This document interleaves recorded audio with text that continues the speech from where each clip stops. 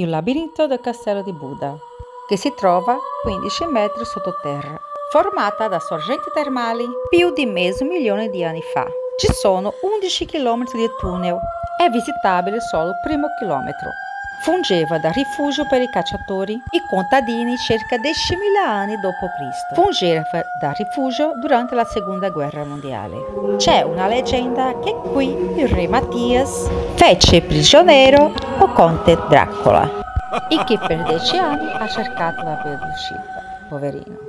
Mentre esploriamo il tunnel, sentiamo urle e canzoni macabre. Tra i personaggi spaventosi incontriamo i rappresentanti delle corti unghere. Una scoperta interessante. In alcuni punti del tunnel è necessario utilizzare una torcia. C'è pure la nebbia dentro.